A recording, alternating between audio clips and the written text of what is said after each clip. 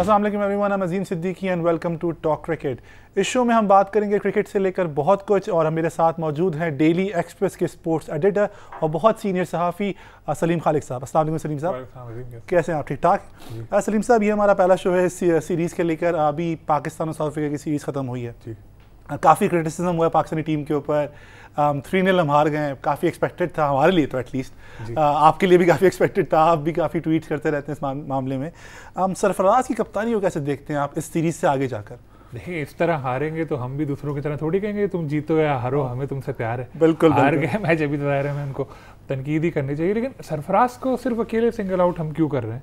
ग्यारह player team में होते हैं। सरफराज के अलावा दस ने बैटिंग की बॉलिंग सरफराज करते नहीं विकेट कीपर हैं वो तीसरे टेस्ट में उन्होंने दस कैच भी लिए। बहुत अच्छी कीपिंग करी और उन्होंने फिफ्टी भी बनाई। ठीक है उनकी कैप्टनसी ठीक नहीं थी लेकिन हमें दूसरे प्लेयर्स को भी देखना चाहिए कोच को भी देखना चाहिए। बॉलिंग कोच अजहर महमूद क्या कर रहे हैं? बैटिंग कोच जो है ग्रांड फ्लावर वो क्या कर रहे हैं? चीफ कोच जो है मिकी आर्थर वो क्या कर रहे हैं? हम्म। इतने सारे कोचेस रखे हुए और टीम की परफॉर्मेंस खराब। मलबा आगे गिरता है बेचारे सरफराज के ऊपर।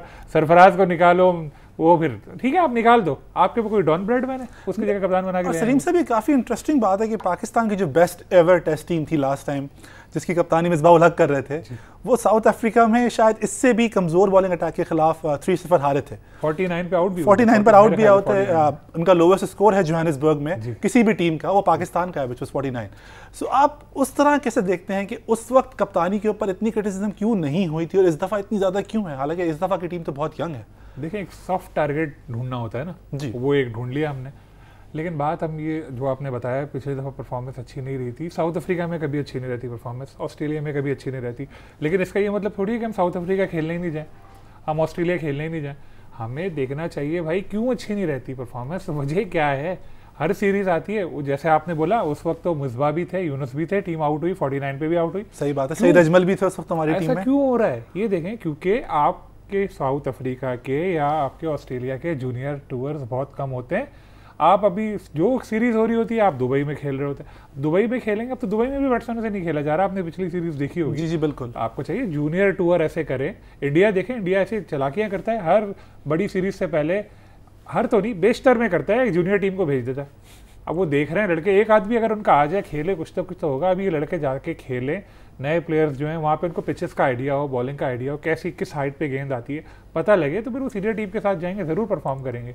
अच्छा और अभी आपको लगता है कि क्योंकि पाकिस्तान का अगला जो टेस्ट मैच का असाइनमेंट है वो काफ़ी अर्से के बाद है और सरफराज की कप्तानी को आपको देखते हुए लगता है आजकल के हालात में कि क्या वो दस महीने के बाद लगभग तकरीबन नौ महीने का गैप है पाकिस्तान का अभी से लेकर अगले टेस्ट मैच में तो आपको लगता है कि सरफराज पाकिस्तानी टीम की कप्तानी कर रहे होंगे इन अक्टूबर एक सवाल मैं करूँ आपसे। जी जी। सरफराज ने क्या कभी आपको इंटरव्यू देने से मना किया? नहीं मैंने तो मना नहीं किया लेकिन लोग उनके पीछे बहुत ने आपको मना किया या कोई नहीं, नहीं बिल्कुल मना नहीं किया उनसे तो सरफराज पे हमेशा आ जाता सरफराज में मैं इसलिए आ रहा हूँ बिकॉज़ बहुत क्रिटिसिज्म है सोशल मीडिया के ऊपर उनके खिलाफ। कुछ समझ से बाहर है कि क्यों है? मैं खुद कंफ्यूज हूँ क्यों है? क्रिटिसिज्म होना चाहिए कैप्टन है टीम हारी है लेकिन भाई अजहर अली की तो बात करें जिसकी दस की एवरेज भी नहीं है। इससे ज़्यादा बड़ी शर्मनाक बात क्या हुई कि टॉप कर रहे हैं वो हमारे बॉलर्स हैं। बिल्कुल शादाब और हसन जो है जी जी। असद शफीक की परफॉर्मेंस जो है उसमें भी तसलसल नहीं है। तो हमें उनको भी तो देखना चाहिए। मिक्की आर्थर से पूछें अजहर महमूद से पूछें ग्रांड फ्लावर से पूछें सरफराज से बिल्कुल पूछें मेरे चचा का बेटा नहीं है वो। जी जी। मैं बोलता बिल्कुल हटा दें आप सरफराज को कप्तान आप एक नाम लेना भूल गए हैं मतलब भतीजे जो हैं हमारी टीम के काफ़ी मशहूर हैं और काफ़ी यू नो उनके बारे में काफ़ी बातें होती हैं कि वो टीम में शायद किसी सिफारिश के ऊपर हैं या कोई नेपोटिज्म चल रही है कोई फेवरेटिज्म चल रही है। उनके बारे में क्या कहेंगे? उनकी भी परफॉर्मेंस जो है वो बहुत ही डिमोरलाइजिंग थी। खासतौर पर जिस तरह वो आउट होते हैं बड़े अजीब तरीके से वो आउट होते हैं फॉल कर रहे होते हैं हमेशा खेलते हुए इन स्विंगर के ऊपर। उनकी आपको समझ आती है कि वो टीम में क्यों थे इस दफ़ा हालाँकि उनका टेस्ट रिकॉर्ड को इतना अच्छा नहीं है। देखिए इमामुल हक जो है जी। प्लेयर अच्छे हैं नो डाउट जी। बुरे प्लेयर नहीं है वो। हम्म। लेकिन बात ये है कि उनसे ऊपर चार अच्छे प्लेयर और भी हैं। जी। लेकिन उनके नाम जो है ना वो उल हक नहीं है। फवाद उल हक होता वो खेल जाता। आबिदुल हक होता तो खेल जाता। इस तरह थोड़ा, थोड़ा ज्यादती कर रहे हैं तो कितने सारे कैरियर उन्होंने खत्म किए। अब वो चचा जान जो हैं उनकी निगाहें घर के सहन से आगे निकले तो जाए ना।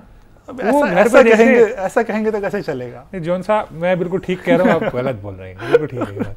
अच्छा सही thank you so much Salim साहब। अभी हम एक ब्रेक लेते हैं और उसके बाद हम और बात करेंगे पाकिस्तान की टीम को परफॉर्मेंस को लेकर और पीएसएल के बारे में भी इनसे कुछ ज़रा इंपॉर्टेंट सवाल करेंगे।